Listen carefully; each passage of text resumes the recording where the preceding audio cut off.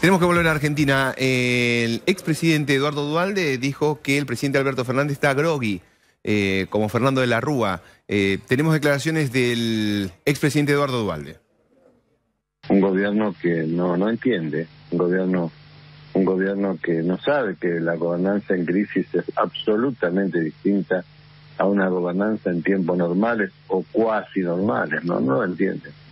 No lo ha entendido nunca están instalados todos en el pasado, muy cómodamente sentados, una zona de confort para la dirigencia parece ser el pasado, y no se dan cuenta que los eligen no para, para lo que no tiene modificación, el pasado es inmodificable, lo eligen precisamente para ver si podemos, si podemos, eh, trabajar hacia el futuro.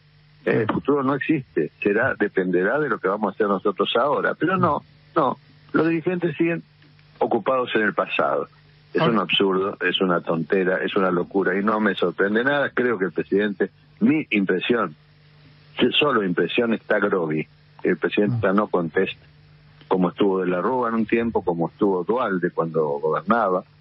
En un momento estaba yo no conteste. ¿eh? Están, son tantos problemas y tantos mm. impactos psíquicos que recibe un presidente que llega un momento que, bueno, tiene que buscar ayuda. Es un dual